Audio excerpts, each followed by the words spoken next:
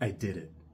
I built my own infrared head tracking mouse from scratch out of a Raspberry Pi to replace my old NaturalPoint SmartNav that was discontinued years ago.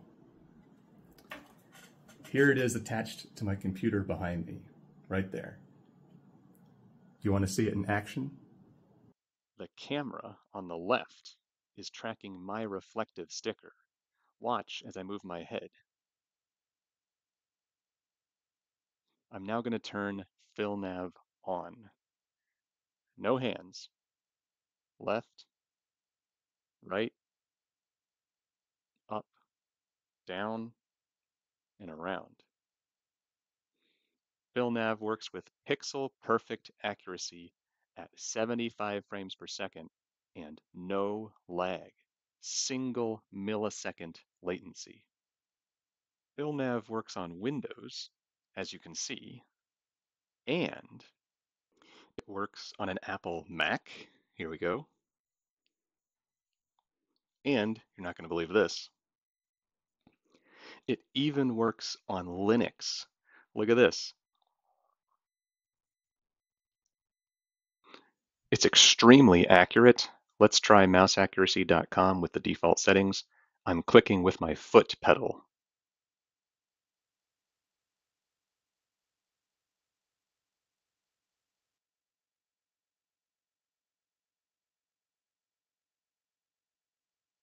Hundred percent accuracy, 28 clicks.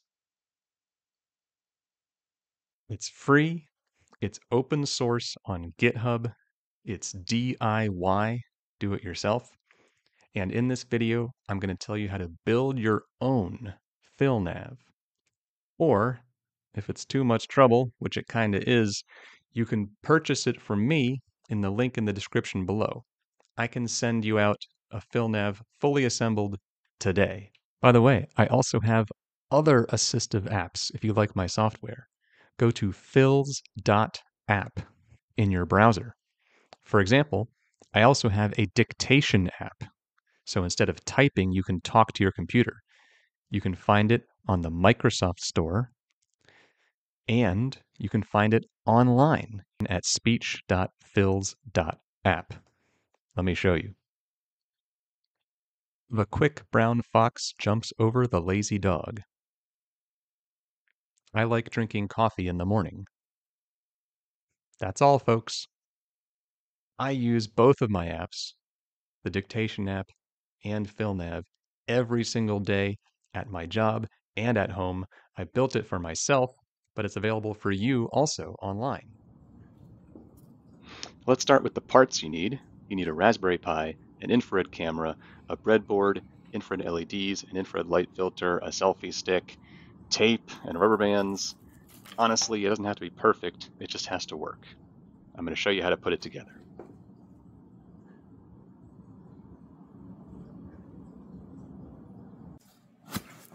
All right, let's start unboxing our Raspberry Pi. The CanaKit comes with everything the Pi itself, the case, snap them all apart. The SD card is the Raspberry Pi operating system. Pop that in, slide it into the case, snap it together, and uh, plug it into the wall. Put the USB end into the Pi, and you should see a green light. Open up your breadboard. Comes with the breadboard, a ribbon cable to connect the uh, connector on one end and the Raspberry Pi on the other end. So snap that into the board. I use the little uh, cushion thing to help my thumbs. Put the ribbon one end into the board itself and the other end into the Raspberry Pi.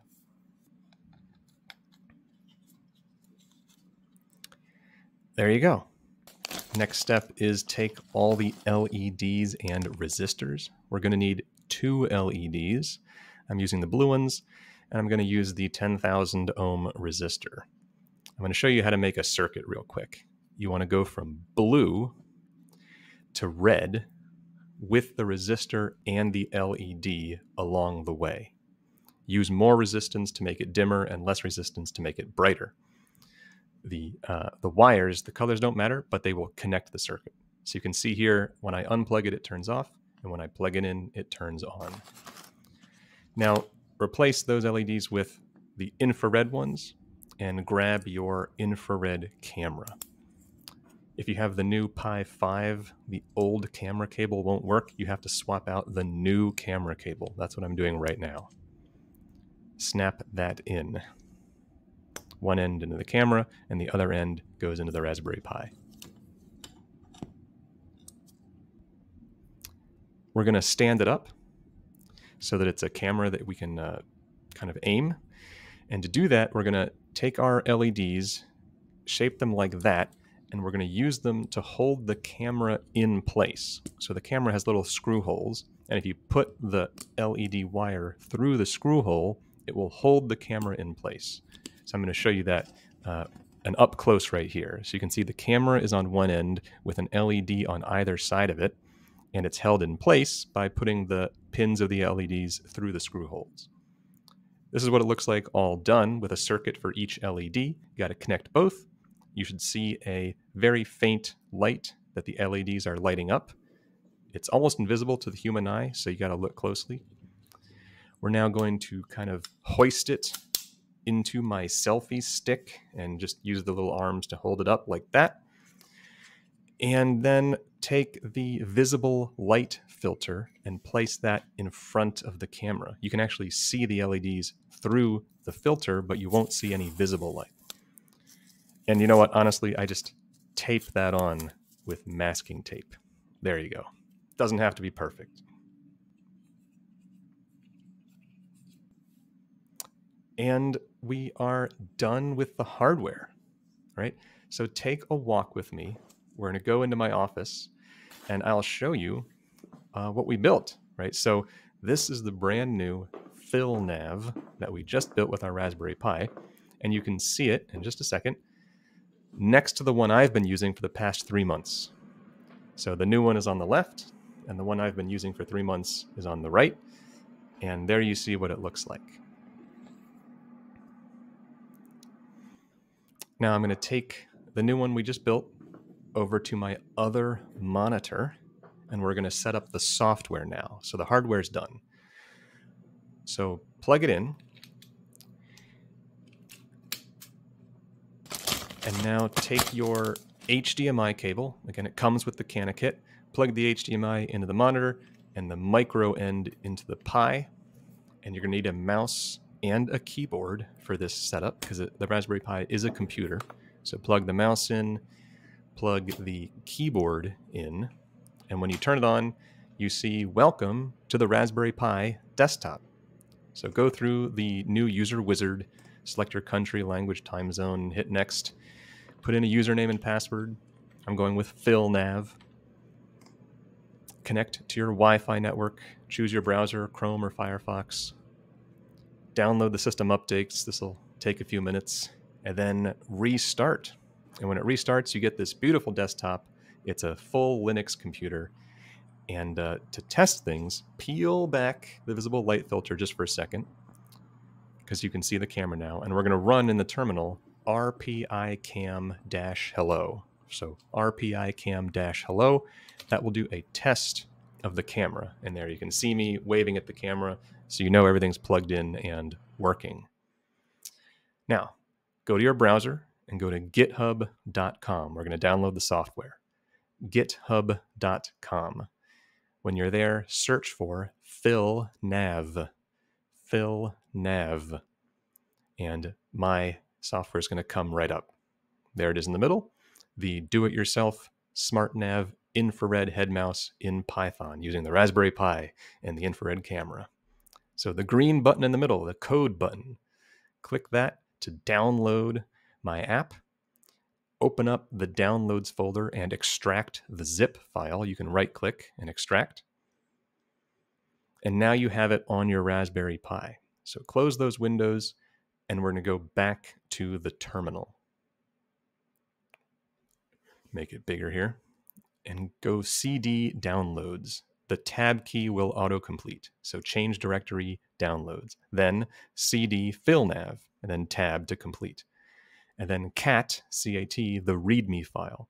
And this will print out all the information you need. But the most important thing right now is the Python 3 server. So copy that, and we're going to paste that into the terminal. We're running it with verbose and with preview, so dash dash preview. It's going to complain that there's no OpenCV yet. That stands for Open Computer Vision. We're going to install that right now. apt install python 3 dash opencv. You can also tab to autocomplete. Uh, sorry, sudo sudo apt install python 3 opencv. Run that it's going to take a few minutes to download everything. And when it's done, we'll be ready to go. Okay, I've switched over to my main Windows laptop. I'm using a remote desktop. I'm going to run that command. All right, this black square is what the camera sees. Remember, there's a visible light filter in front of the camera so the camera sees nothing but blackness, except infrared light. I use a headset. The infrared LEDs are shining the light at me and reflecting off of the sticker. And if you look to the left now, you can see that the camera is detecting that sticker. And as I move my head, the camera view moves as well. These motion tracking stickers, and they work just fine. I'm going to move them down in front of the camera. That's what it looks like to the camera. You can take one of those stickers, put it on your nose or your forehead. Scotch 3M reflective tape. And you can just stick it on anything. This is what it looks like to the camera. Scotch super glue. And just put the 3M reflective tape onto my microphone boom. So in front of the camera, it looks like this. It's a whole bag full. After you confirm that it's working, you can close the camera view, Control C on your keyboard to close down the server. We're going to run the server again without verbose and without preview, and we're just going to let it run in the background. That's all you need to do. Oh, if you do dash dash help, so run it with dash dash help. You can see all the various options. You might have to put in the IP address of the client computer that you're sending the data to. I'm going to run the server with no options. It says server starting PhilNav. Welcome to PhilNav. I'm Phil. If running for the first time, use help and preview. So we just did that. That's all we need. You just let that run in the background forever. Mine's been running for three months now. You're going to search for PhilNav.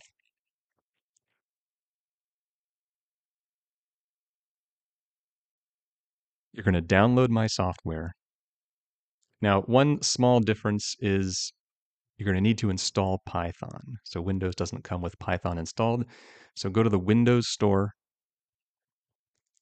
at the top, search for Python.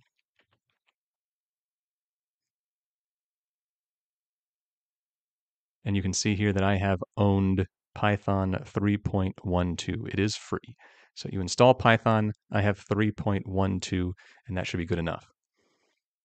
You're going to open up the Windows console or PowerShell and go to the directory where you've extracted the Python file and we're going to run this time the client. So Python client underscore winmacnix slash main.py dash dash help.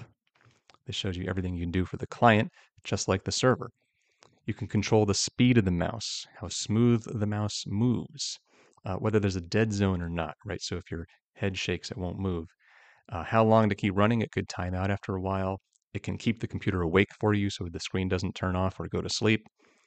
And just like on the server side, you can add in IP addresses if you're not on the same Wi Fi or not on the same Ethernet.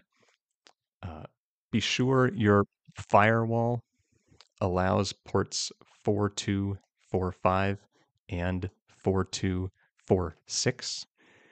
My command is this.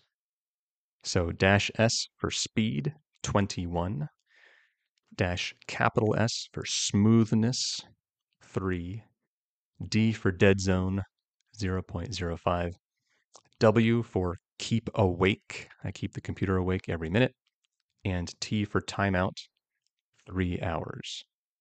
I'm going to hit enter and then no hands. And PhilNav is running up, down, left, right, and around in a circle. So I hit Shift F7 and now it's paused. Now I hit Shift F7 and now it's working again. And you hit Control C to quit. And it's done.